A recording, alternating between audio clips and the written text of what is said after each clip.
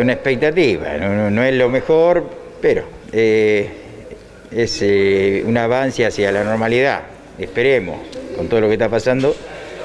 Pero bueno, tranquilo y, bueno, tratando de llevar este momento difícil de, tres meses de cierre. y bueno, eh, esperemos que, lo, podemos, lo podemos transitar de la mejor manera.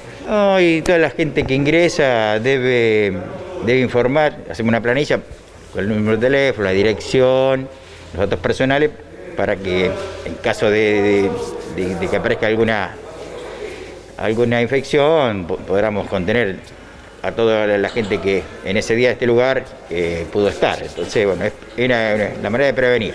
Todo lo que ya conocemos, lo que estamos habituados, todas las personas ya tienen incorporado el lavado, el, alcohol en gel, eh, la servilleta descartable, la desinfección en lo que es la puerta y entrada y salida, o sea, todo lo habitual y bueno, y nosotros tratamos de que, eso se lleve a cabo. Y el distanciamiento social entre personas y el uso del barbijo.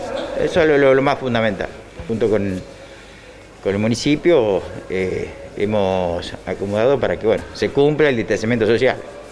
Que somos habituales de tomar un café nos hace sentir realmente eh, bárbaro porque esto lo necesitamos. Eh, de todas maneras hay que estar con con todos los cuidados del caso porque la situación no está nada fácil.